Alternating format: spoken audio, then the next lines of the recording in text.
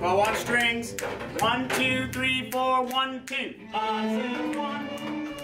Um, I've been playing the violin for five years, and I've been in ROCmusic for about three years. ROCmusic is full of different people who wants to play uh, any instrument they choose um, that's in the string category, and they come here and they can have fun and meet new people and make new friends. I've taught students uh, fingerings, how to play certain songs, rhythm, and bowings. When I'm teaching, I feel good because I know that I have the ability to teach someone else something that I love to do, which is playing play the violin.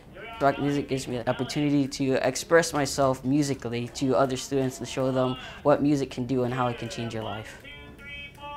I love that. You killed it. That was awesome. It was really, really good.